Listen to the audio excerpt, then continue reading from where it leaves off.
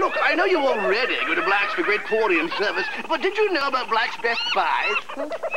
A Black's Best Buy is a great combination of quality and price. Take a look. Until January 14th, you'll get a free second set of pins when you drop off your film at Black's for processing. That's right, a second set for free. So you can count on Black's for Best Buy deals on photo finishing all year long and save. Black's is photography.